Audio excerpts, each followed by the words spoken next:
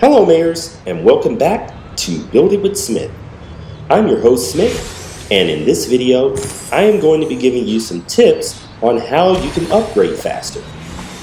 Now, if you don't already know, upgrades are the key to success if you want to level up in the game. When a building is ready to upgrade, this hard hat will appear. Click the hard hat and you will be shown the combination of items that you will need in order to make the upgrade happen.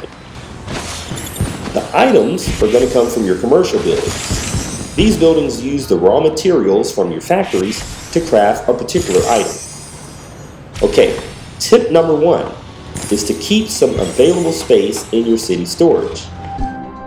I only have 180 slots, and most of these are filled with particular items that I don't seem to be getting prompted for at the time. So, it's a good practice to clear these out every once in a while. Plus, you can earn money by selling them at the Trade HQ. I pretty much clear out everything except for my expansion items. Tip number two is to keep your factories stocked full of raw materials that takes more than two hours to craft. This will increase your productivity and efficiency.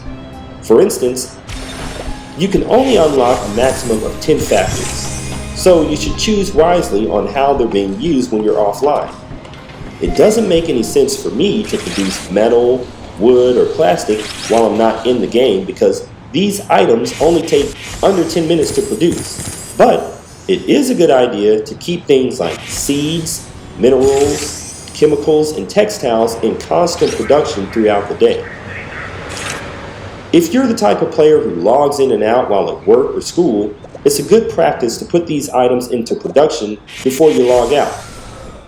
This way, when you log back in, you're not having to wait 20, 30, maybe even 3 hours because you don't have these essential items that the game uses a lot. Tip number 3. Produce long lead items to take over 3 hours overnight.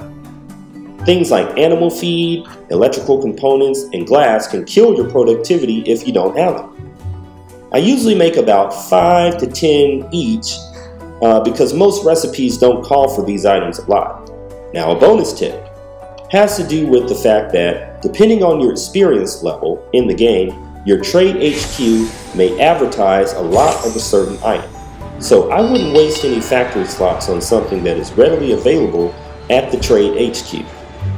For me, I tend to find a lot of glass and sugars easily. Tip number four is to go ahead and make the essential items that recipes usually call for. For instance, nails, hammers, shovels, and planks are all usually part of other recipes, like tables use planks, nails, and hammers. It really cuts down on productivity by having these items readily available in my city storage.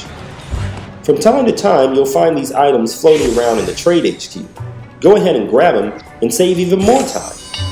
Now the last and final tip, tip number five, is to upgrade your commercial buildings when prompted to. This speeds up the production time.